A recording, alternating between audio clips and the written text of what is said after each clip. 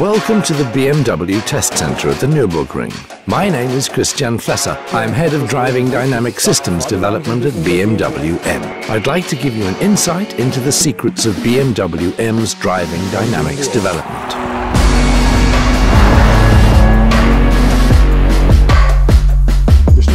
This is the new BMW M3, a pre-production vehicle.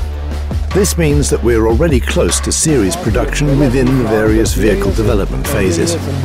We're at the Nürburgring to coordinate the fine-tuning of its driving dynamics control systems. The new M3 will be available in two drive options, rear-wheel standard drive and our new M xDrive, all-wheel drive. Here at the Nürburgring we drive many laps on the Nordschleife, but we also take the cars out on country routes, motorways and roads with bad surfaces. We want to find the best possible balance between racetrack performance and customer suitability, customer benefit, customer performance.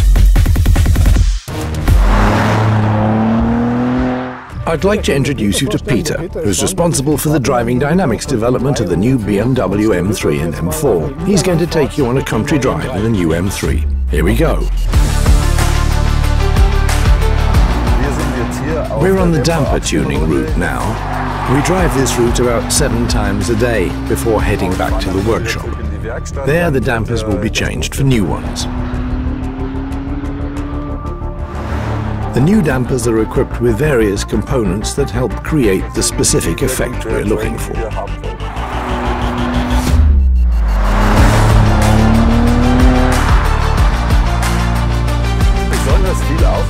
We put a lot of effort into eliminating disturbance from the steering system, such as the force generated by friction.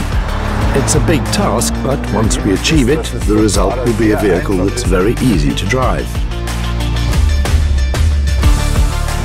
It's best to fine-tune the vehicle on a bad road surface because that's where we come across the biggest challenges and find the most feedback to work with.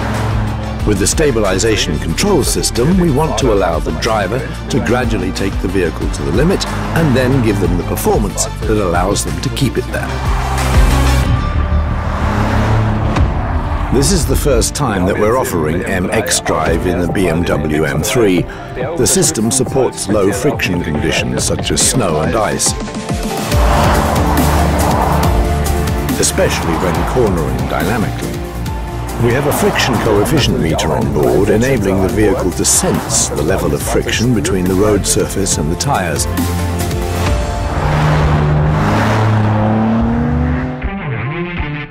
Here we go.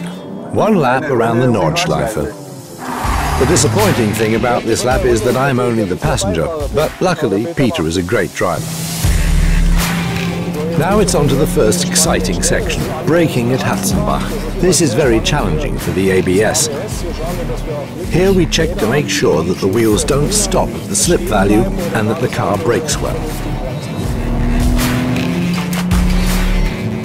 We're driving straight over the top of Schwedenkreuz, one of the circuit's fastest sections.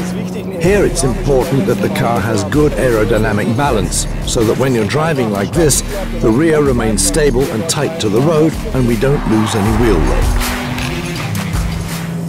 Now we turn into Fuchsröhre. Fuchsröhre is a very narrow section if you take the ideal line. Here we need a very controlled body. There's still the potential for improvement right now.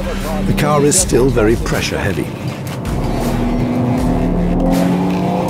Now we're driving out of the corner with slight oversteer.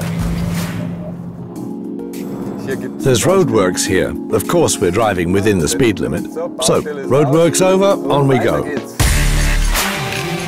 Now we head in the direction of Kallenhardt. Here you need good grip at the front axle when turning in as the corner's very tight.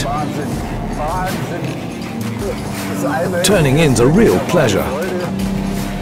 Now we come to a significant braking point, Breidscheid Bridge. The ABS is very important here. There's an oil spill ahead. That doesn't give you much confidence as a passenger, but Peter's driving does. Here at Exmühle, the M differential comes into play. You need grip because the corner turns outwards. You also need forward traction to take the speed into the Lauda curve.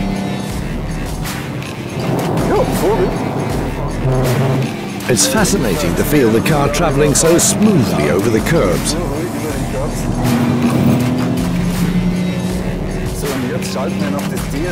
Now we switch on the DSC, which takes us very softly to the limit.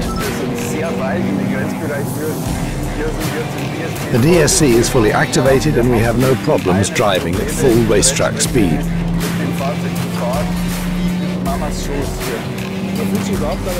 You don't feel at all restricted.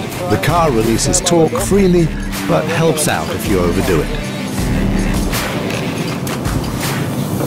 One lap on the Nürburgring Nordschleife in the new BMW M3 is so fast. It's a cool car, absolutely thrilling. For me, the M3 is at its best in every situation. As developers, we have best in segment goals, and the M3 masters them all with confidence. That's best in class.